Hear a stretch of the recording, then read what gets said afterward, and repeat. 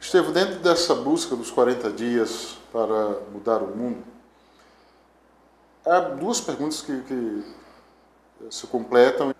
Primeiro, qual é o perfil do mundo atual? E dentro dessa mesma pergunta, esse perfil precisa ser mudado? Bom, pastor, não precisa ser muito é, observador para perceber que o mundo atual é um mundo é, que não é o plano original de Deus. O mundo atual é um mundo deturpado, um mundo destruído, um mundo que não foi criado para isso e que ao passar da raça humana as coisas foram se deteriorando. Então, é, não precisa ser muito inteligente para ver isso. Fato é que, dentro dessa, dessa lógica do mundo, essa, essa perspectiva ela não é muito prazerosa para nós. Ah, ele precisa ser mudado, é claro. E aí eu gosto do apóstolo Pedro, quando ele fala que nós somos a raça eleita, é, o sacerdócio real, a nação santa.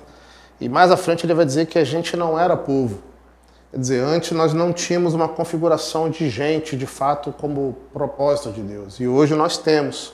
Então, ah, esse é o perfil do mundo hoje e pode ser mudado na medida que a gente entende que antes a gente não era povo e que agora a gente é povo de Deus. Como podemos mudar esse perfil é, em relação a, a, esse chamado de Deus? Como isso é possível, essa transformação acontecer?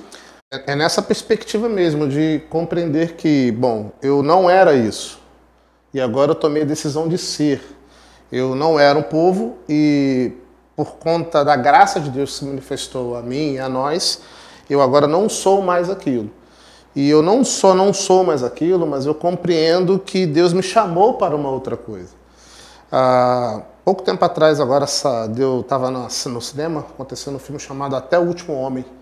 Esse é um, uma história real de um soldado adventista que decidiu ir para a guerra.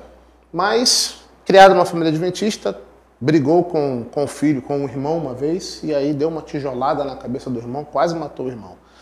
E desse dia em diante, enquanto criança ainda, ele tomou uma decisão: eu nunca mais vou machucar ninguém, eu nunca mais vou ferir alguém.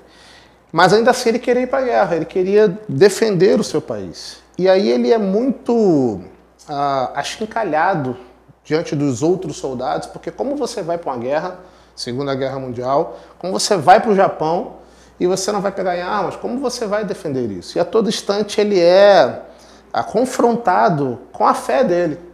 E a fé dele dizia o seguinte: eu não fui chamado para isso. Como é que eu vou defender o meu país? Eu vou defender ah, salvando vidas. Eu penso, pastor, que ah, a gente começa o processo de mudança quando a gente compreende o chamado de Deus. E, e o nosso chamado não é para destruição, nosso chamado é para salvação. Nosso chamado é para que as pessoas entendam que esse mundo precisa ser restaurado e parte necessariamente da graça de Deus sobre as nossas vidas. Esse chamado exige o quê?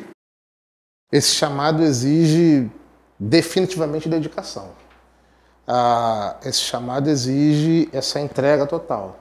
E aí o apóstolo Pedro vai dizer né, que nós somos sacerdócio. O sacerdote era aquele que se dedicava exclusivamente ao trabalho de Deus, ou ao, ao relacionamento com Deus. Então, ah, funciona da seguinte forma: eu entendo que eu não sou mais o que eu era, agora eu sou o povo de Deus e no ato de ser povo de Deus, nação dele, eu sou sacerdócio, logo eu vivo em dedicação a ele. E o resultado da dedicação a ele é a, a, o auxílio e ajuda a outros, para que outros também vivam na certeza de que não é mais qualquer coisa, mas que agora é povo de Deus e que vive nessa perspectiva nova e que sim vive uma vida dedicada por conta disso. Eu creio que a gente pode mudar o mundo a partir dessa perspectiva clara de que a gente uh, entende quem a gente é agora e, uh, sabendo quem nós somos agora, a gente pode viver uma vida dedicada ao Senhor em benefício e em prol do outro.